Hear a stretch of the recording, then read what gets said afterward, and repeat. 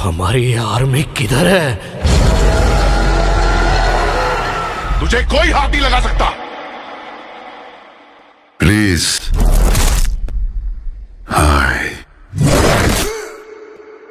kindly request